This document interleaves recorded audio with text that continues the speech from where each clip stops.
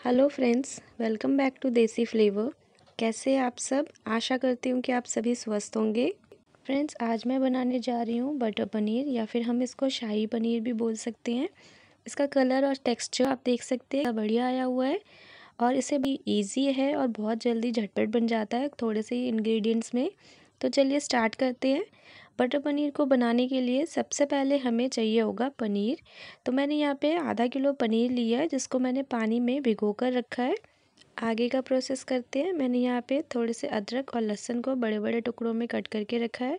और यहाँ पे मैंने लिया है चार टमाटर और चार अनियंस। इनको मैंने अच्छे से वॉश करके रखा है। चलिए स्टार्ट करते हैं। सबसे पहले ऑयल गरम करेंगे और इसमें मैं अदरक और लहसुन जो बड़े बड़े टुकड़ों में कट किया हुआ था, उसको दो तीन मिनट के लिए अच्छे से फ्राई कर लेंगे ताकि इसमें से कच्चापन जो है वो निकल जाए। जिंजर गार्लिक को फ्राई करने के बाद सेम पैन में हम ऐड करेंगे अनियंस, जिनको मैंने बड़े बड़े टुकड़ों में कट कर लिया है। और इसको भी हम दो चार मिनट के लिए कुक करेंगे।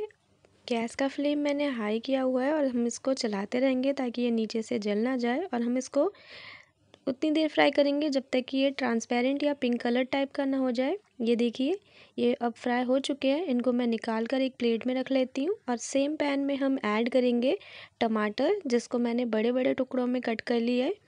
इनको भी हम दो चार मिनट के लिए फ्राई कर लेंगे। ये देखिए, मैंने फ्राई कर लिया है।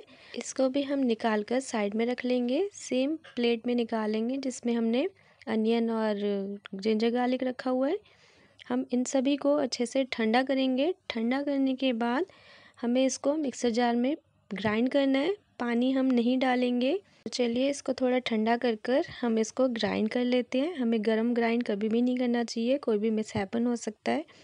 तो देखिए फ्रेंड्स, ये ग्राइंड हो चुका है और इसको देखने में अब ऐसा लुक आया है। ये देखिए, इसका कलर आप देखिए कितना बढ़िया आया है। आगे का प्रोसेस करते हैं।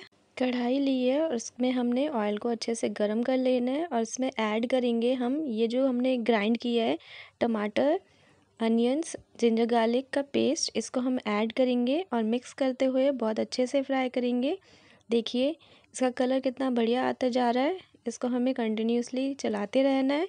दो चार मिनट हम फ्राई करने के बाद हम इसमें ऐड करेंगे सॉल्ट सॉल्ट को आप अपने टेस्ट के अकॉर्डिंगली रखिएगा। इसको हम मिक्स कर लेते हैं। और हमें इसको अभी कुक करना है जब तक कि ऑयल सेपरेट ना हो जाए। इन बिटवीन हम कुछ मसाले ऐड करेंगे। तो यहाँ पे मैं ऐड कर रही हूँ रेड चिली पाउडर चिली को भी आप अपने टेस्ट के अकॉर्डिंगली रखिएगा और इसको भी हम मिक्स कर लेते हैं। बटर पनीर बनाना बहुत ही इजी है और ये मोस्टली सभी को पसंद आता है खाने में। तो ज़रूर एक बार ट्राई कीजिएगा। बटर पनीर में बहुत ज़्यादा मसाले नहीं डाले जाते हैं। बहुत ही कम मसालों के साथ बनकर रेडी होता है। हमें मसाले को अच्छे से फ्राई करना है, जब तक कि इसमें से ऑयल सेपरेट ना हो जाए। ये देखिए, इसमें अच्छे से ऑयल सेपरेट होना शुरू हो गया है और पनीर को मैंने जो भिगो कर रखा था पानी में, उसको मैंने क्यूब्स में कट कर लिया है और मैंने इसमें मिक्स कर दिया। मैं पनीर को फ्राई करके नहीं डाल रही हूँ। आपको अगर पसंद है तो पनीर को फ्राई करके भी आप यूज़ कर सकते हैं। मैं डायरेक्ट पनीर को कट करके ग्रेवी में मिक्स कर रही हूँ। इसको मिक्स करने के बाद अब हम इसमें ऐड करेंगे पानी। पानी की कंसिस्टेंसी आप अपने अकॉर्डिंगली रखिएगा, कम या ज़्यादा। मैंने यहाँ पे एक गिलास पानी ऐड किया है और अच्छे से हम सभी को मिक्स कर देंगे। हल्के हाथों से मिक्स करेंगे ताकि पनीर टूट ना जाए और हलवे जैसे ना दिखे। तो इस तरह से हम मिक्स करने के बाद हम इसमें ऐड करेंगे गरम मसाला। गरम मसाला डालने के बाद एक बार हम फिर से मिक्स कर लेंगे। और कोई मसाले हम इसमें यूज़ नहीं करेंगे, इसको अच्छे से मिक्स कर लेंगे और इसके बाद हम इसको कवर करके कुक करेंगे। जब तक कि इसमें अच्छा सा एक बॉयल ना आ जाए तो चलिए मैं इसको कवर कर देती हूँ और एक अच्छा सा बॉयल आने तक हम इसको कुक कर लेंगे। पाँच मिनट हो चुके हैं, आप देख सकते हैं इसमें एक अच्छा सा बॉयल आ चुका है। तो चलिए हम इसको चेक कर लेते हैं। ये देखिए ग्रेवी बनकर बिल्कुल रेडी है।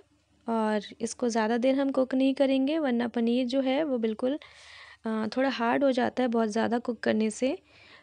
एंड में हम इसमें डाल रहे हैं बटर। मैंने यहाँ पे एक क्यूब डाला है बटर का और इसको भी अच्छे से मिक्स कर लेंगे। एंड में हम यहाँ पे डालेंगे आमूल फ्रेश क्रीम। ये अगर आपके पास है तो यूज़ कीजिएगा और अगर नहीं है तो स्किप कीजिएगा। मैं यहाँ पे अमूल फ्रेश क्रीम यूज़ कर रही हूँ। हाफ़ कप के करीब डाला है मैंने। इसको अच्छे से मिक्स कर लेंगे और गैस का फ्लेम हम बंद कर देंगे। क्रीम डालने के बाद ज़्यादा कुक नहीं करना है, वरना क्रीम फट जाता है। और अब हम इसमें ऐड करेंगे कुछ कटे हुए धनिया पत्ता और बनकर रेडी है शाही पनीर।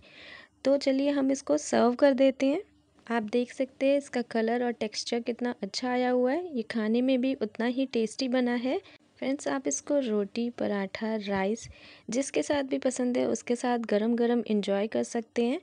और ये बनाना बहुत ही इजी है। आपने देखा कितनी जल्दी और झटपट बनकर रेडी हुआ है। एक बार ज़रूर ट्राई कीजिएगा इस रेसिपी को। और फ्रेंड्स, आपको अगर मेरी रेसिपी पसंद आई है तो प्लीज़ मेरे वीडियो को लाइक कीजिएगा। मेरे चैनल को सब्सक्राइब कीजिएगा। और वीडियो को एंड तक वॉच करने के लिए सभी का थैंक यू सो मच